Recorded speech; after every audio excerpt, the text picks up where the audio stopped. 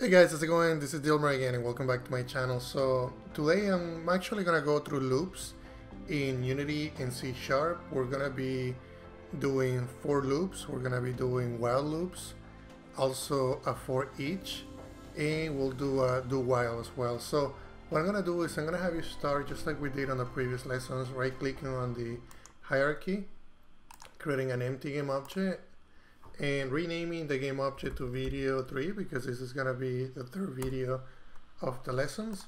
And right after you create the game object I'm going to have you go into the inspector and then we're going to be creating a new script and we're going to call it video 3 so let's do that and let's go back into assets just to make sure that we move that script into the scripts.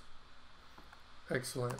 Okay so the next thing that I want you to do is basically double click on video 3 and we're gonna start where we landed on the previous lessons which you know we have video 1 and video 2 with the different with the variables and methods that we declare. And on the second one we also did some logical expressions and we talk about operators.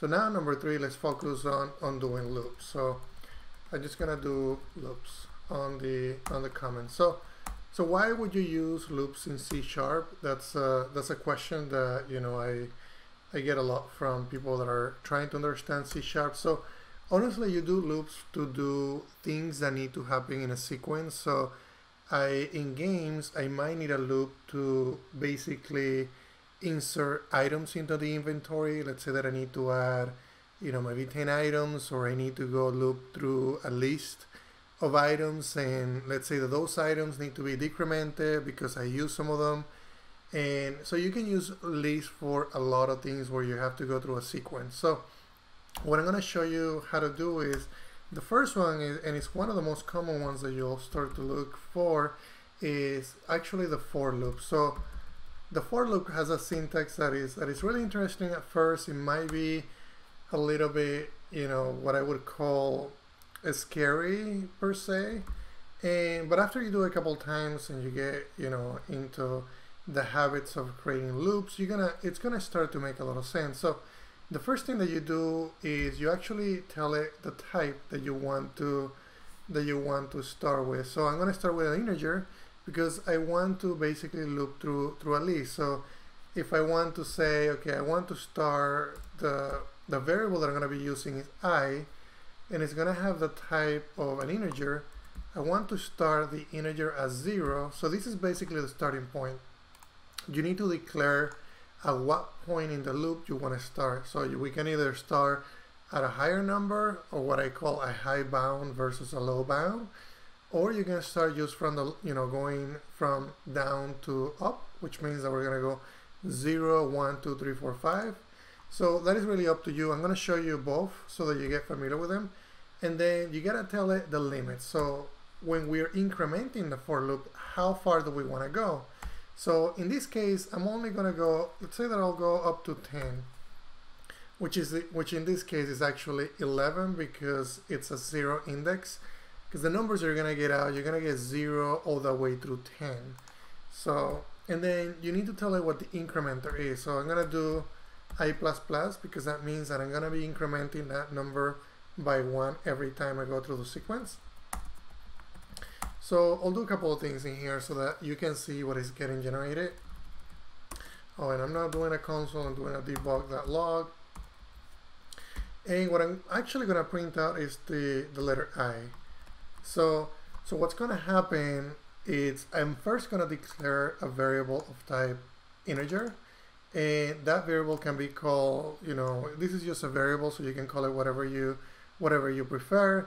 I call it I. That's this is a semantic that a lot of programmers use for for loops. And I want to actually start as zero, so that's what I'm basically telling it, telling it my limit. So this is my starting point. This is gonna be my end. So I'm gonna go up to 10 because I'm, I'm incrementing as long as the evaluation of this condition is less than or equal to 10. So what's the incrementer gonna do, which is i++, plus which is gonna say Okay, so when I go through this loop, I'm going to say, okay, this one is equal to 0. The number that I'm on right now is 0, so it's less than 10. So the next time through the loop, I want to I want to increment that to a one. So it's gonna go here. It's gonna print zero. Now when we go back through, it's gonna say, well, the next iteration I actually incremented to a one. So now this value is gonna be set to a one. One is less than or equal to zero. Sorry, to ten. So that's still true. So I'm gonna increment it. It's gonna print one, and it's gonna increment it to two in the next iteration, and then so on. So if we go back into Unity and we go into our console and actually hit play on the game, you're gonna see what is actually getting generated. So I, I told it that I wanted to start at zero and that my max number was gonna be was actually gonna be 10. So that's what that's why you're seeing the number 10 in there. So the other thing that I'm gonna do is I'm actually gonna go into game object one, disable the script one, and then video two, disable it as well because I only want to see things that are happening on video 3 so you don't really get confused by all the other console entries. So we can see we started at 0, we're incrementing one by one, adding a number to it every time, and then we're going up to 10. So what if you wanted to do that in reverse? So what changes can we make to this? So what I'm going to do is I'm going to actually do a for loop in reverse meaning that we're actually going to change the, the low bound and the high bound. So I'm going to go and say for, and I'm actually going to start at 10 this time around.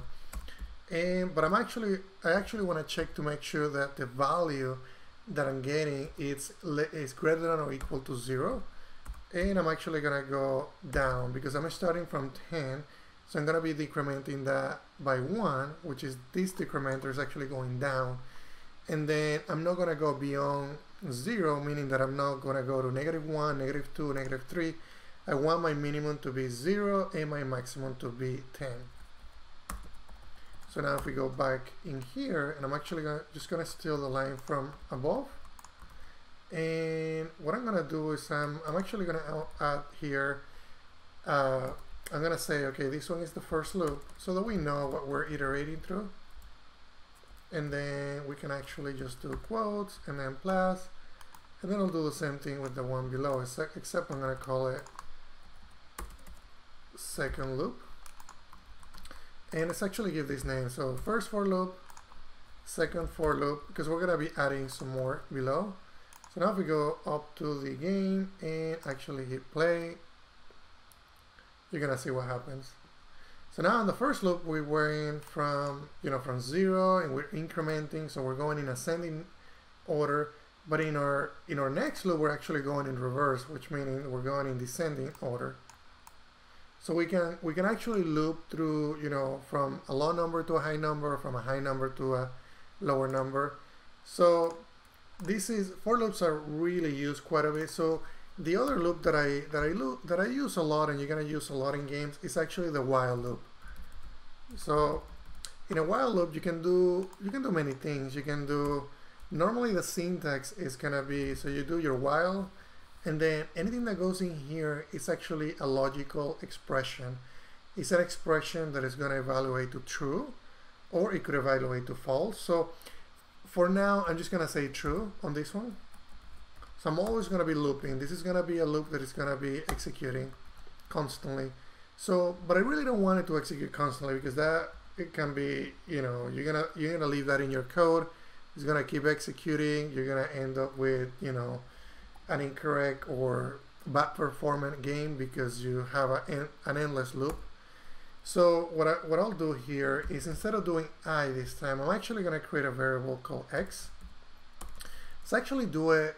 Let's actually call it max so that you know what I'm referring to. And my max is actually going to be 10 so and then the other thing that I want to do is I'm going to create another variable where I'm gonna be I'm gonna be using for incrementing. So I'm gonna actually gonna call it incrementer. And we're just gonna start at zero. So what I want to do is I want to check to make sure that I'm not I mean I'm incrementing the incrementer so this, gonna, this is gonna increment one by one but when I reach 10, I want to say, you know, I'm going to be printing a message saying I hit the max. So what I'm going to do here is I'm going to say incrementer and then plus plus. And then right after that, I'm just going to say, okay, if, so I'm actually going to do it right before because the way that this is going to work, this is going to start as zero. So I want to check right away if these actually hit the max. If I do it right after, it's actually going to increment to one and I'm not going to have the option to check, you know, if I'm at zero and I want to check for the max. So I'm going to say if incrementer is equal, actually less than or equal to, to max, equal to equal to max. So then what I'm going to do there, I'm going to say I hit the max. So I'm going to actually paste the, the debug log entry that I had from right above it. And I'm to say while loop. And then we can put I hit the max. So if I if I do this every time, I'm actually what, what's to happen is to say, okay, this is a true while true, meaning that it's to keep it's going to keep going through this code, iterating and iterating. So what's to happen is to say, okay, this is true. Incrementer is zero, and it doesn't equal 10. So I'm never to get to this. It's to get to here as soon as I hit to 10. And then, but it's to keep going. It's to be keep incrementing. So what I want to do is I'm, there's a couple ways you can break out of a loop. You can say, you know, I can say break here. Eh, and that's actually completely okay. That's actually to break out of this loop. There is a better way to break out of a loop than doing just a, a break right here. So this is going to work, but I'm going to show you a different way in the next loop. So what I'm actually going to do here is I'm going to say first while loop, just like we did right above it. And I'm actually going to, yeah, that's fine. We can, it's actually going to the, into Unity, clear the log, and actually hit play. And you can see that I actually hit the max here and I'm not seeing anything else and that means that I was able to break out of the loop. So let's actually go back into Visual Studio.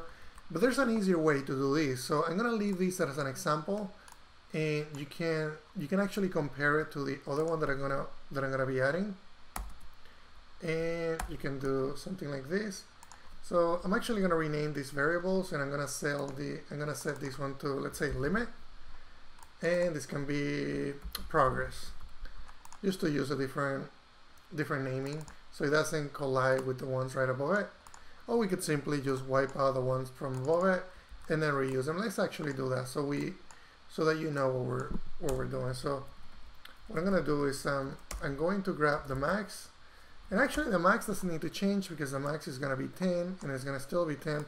The one that we need to change is the one right below it. And, and what I'm actually gonna do is I'm just gonna set it to zero here. Or you can actually set it to zero as soon as we hit the max so we clear that variable. Let's actually do that so we don't have to do anything special. And we can do the same thing for the one below. And I'm actually going to rename this one to say second while loop. And we can also do the same thing on the comment second while loop and we can do that one with this one first while loop so if you notice, we haven't really done any anything here that is different just yet. So what I'm going to do is I'm actually going to move this check, this expression, to the condition right here. So what I'm going to be doing is instead of saying, okay, well, incrementer equal equal max, because that's going to be false in the beginning, you can actually do, as soon as we hit the max, meaning that we're either greater than or equal to the max, as soon as I as soon as I do that, well, that's actually gonna keep going. So I'm actually gonna do less than or equal to.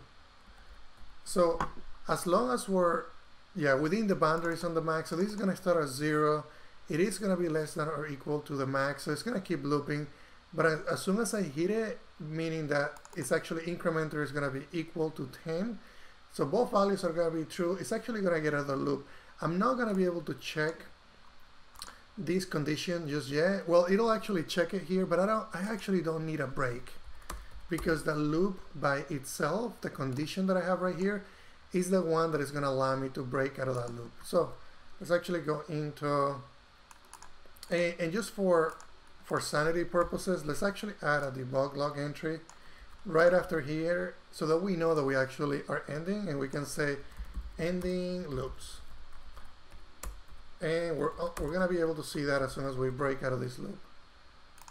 So if we go back into Unity, and we actually don't need to clear the log because I have this set to clear on play. So sometimes I forget about that and it just makes me feel better about clearing the log even though it already does it automatically. So, so if you hit play and we can see, let's give it a second. And let's give it one more second here.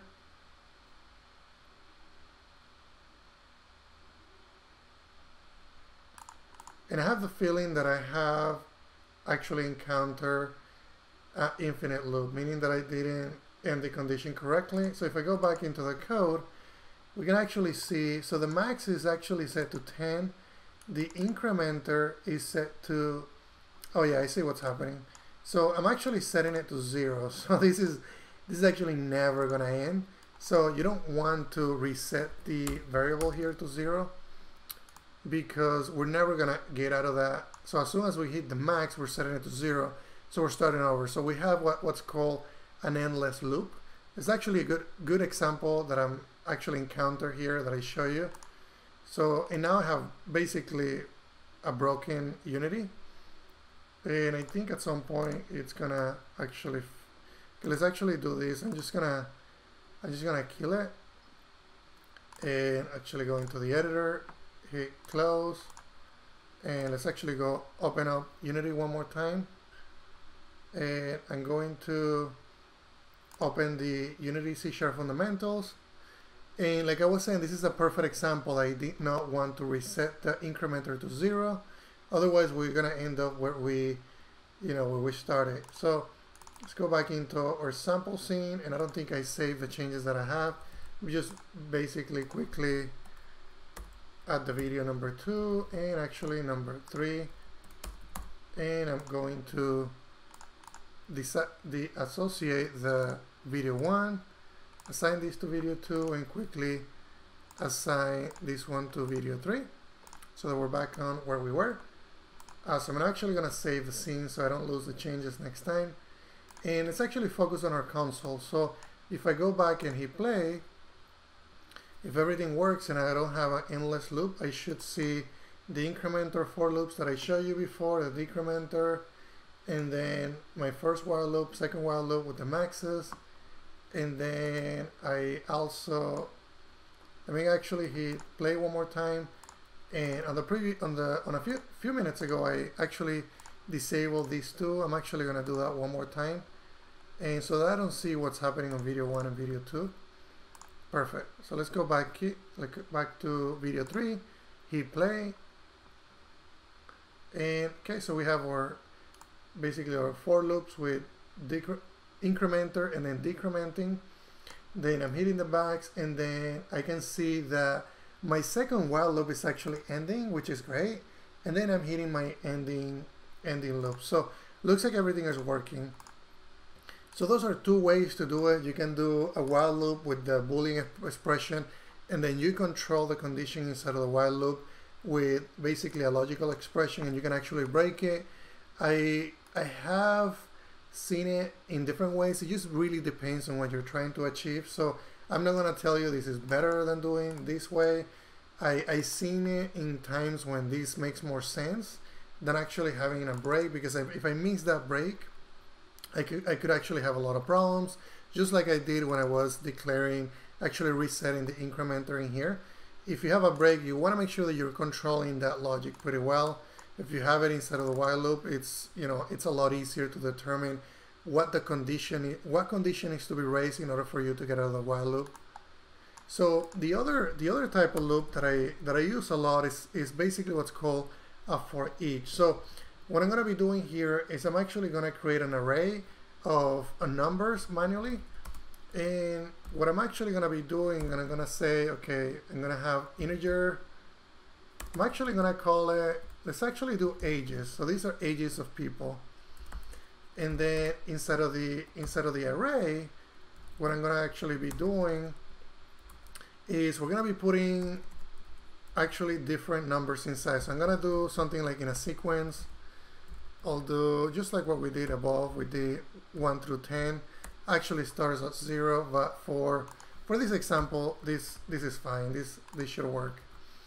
So let's see why is this this is complaining, and this is complaining because this is not, I actually, this is not a list of integers, so if you want to do a list of integers, make sure that you declare the right type, otherwise you would need to surround it with, you know, with quotes for all of them, and the same thing here with the with the integer.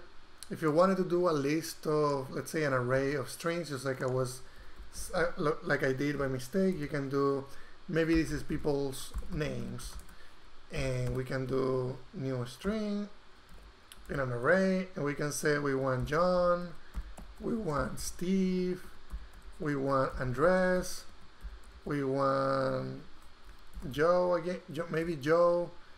So basically four different four different items in that in that list. So there's many ways that you can you can loop through this. We can use you know we can use a while loop in fact to actually loop through this. We can use a for loop and actually let me let me actually do a for loop with the list so that you know how that works and right after that I'll do a for each. So if you wanted to loop through, so let's do this. For ages, we'll do a for loop, and then for strings, we'll do a for each. So let's say that we wanted to loop through ages. And so what I will do is we have, we already created a for loop, so I'm basically copying and pasting that. But in this case, I really don't want to set the limits myself. What I want to do is I want to start at zero. And what I'm going to do is I'm going to change the condition here. And I'm going to say as long as it's less than or equal to ages that length. And then we're going to be basically incrementing and I'm gonna display each one of the ages so we don't want to display 1 through 10 let's actually do something more okay I have a 5 year old a 20 year old I have a 33 year old let's actually not do it in order so that we can see how those numbers are changing I'm actually gonna do 12 15 16 17 maybe an 80 year old 90 year old and then a 10 year old that's that's perfect so, so you notice that I'm using ages. I'm actually using the variable here and I'm using the length. So if I do that notation here, it's actually going to display everything that is available for an array. I have all these built-in functions that C Sharp provides for me. In fact, it has a length, so I can determine the length of this array. So the next thing that I want to do, I'm going to actually just print age, and we're going to be displaying the age. But you don't want to print i, if we display i, it's actually going to display the index of that, meaning that for each iteration, this is going to have the value, the index at position 0, 1, 2, 3, and then so on. So we can do that, the index is fine, but I also want to display the age. So I'm going to do, let's actually do two things. So I can say index, index is that, and the actual value, which is the age, is going to be the actual age but because we're doing an array an array is an index base a zero zero base array the way that you access each value is by expressing basically the variable name a bracket and then the index so the index in this case is going to be i because what's going to happen this is going to get this is going to be the variable in what we're telling the system is that we want to know what the value of this variable is when i is 0. So if, if i is 0, I'm going to get 5. If i is 1, I'm going to get 20, and so on. So at the same time, what I'm going to do is actually run this so that you can see what it's doing. Actually go back into, into Unity. Going to clear it, and I did it again. I shouldn't have clicked on that because it automatically clears it. And hit play, and I think we're going, no, I don't think we're going, we're actually going outside of the bounds of the array. That is a common mistake. Let's actually go back in here. And the reason for that is because we're going, we're going beyond, we're starting at zero and we're going at the ages that length, which is actually gonna make us go one index more than what we have. So we can do two things. We can subtract one or we can actually just do less than ages that length. So if we go back down, hit play and we can see that we're displaying basically all the different ages so at index 0 I had a 5, at index 1 I had a 20, and so on. So that, that's working. So now, the next thing that I want to do, let me actually add some, so for loop, for, for loop with ages array, so that you know what I'm, what I'm doing in this example. And I'm actually going to combine this. And I said that at the beginning of, of most videos, but I'm gonna actually, this is gonna be available in GitHub and it's actually available now. I will check this thing as soon as we're, we're done with this session. So the other thing that I wanna do is I want to do a for each and, and the for each is, is a great way to iterate release. So I could have used a for each here to iterate through each one of these integers, but I'm gonna do it for with people names. So the, the syntax is gonna be for each and what I'm gonna do is you can either do, just like you do when you're declaring a variable, you can use var, or you can use the type itself. So I'm gonna use the type, which is string, and I'm gonna say, you know, name. I'm gonna call it name in people names.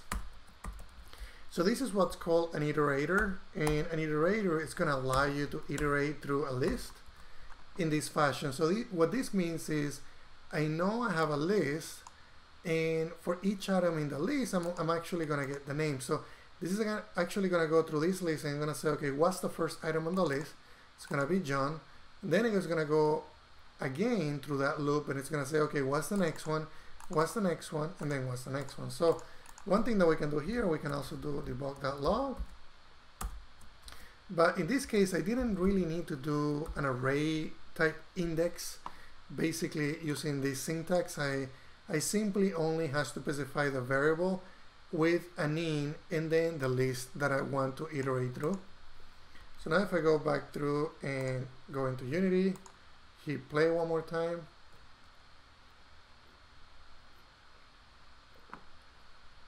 You can kind of see that John, Steve, Andres, and Joe are displaying. So that worked really well. So that's really everything that I needed I needed to cover in this video. So just to reiterate, we went through for loops. I went through a for loop for, you know, showing something in ascending, showing numbers in descending order. I also show you how to use a while loop with basically a true value in the expression by default. Then we had a condition raised and then we broke out of that loop. And we did the same thing with another while loop, except we had the expression, basically the boundaries within the condition in the while loop.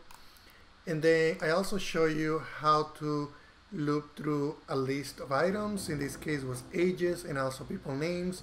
We use a for loop to basically loop through a list of, of items in an array and the, the word integers and we also did basically a list of people names and we use the for each to accomplish that. So that's really what I wanted to cover today. If you guys have any questions about loops or other ways to that you can accomplish looping through lists, let me know and I'm willing to discuss it or I'm willing to extend this lesson if you think there's more questions that you have. So don't forget to subscribe and share this video guys and thank you very much for your time.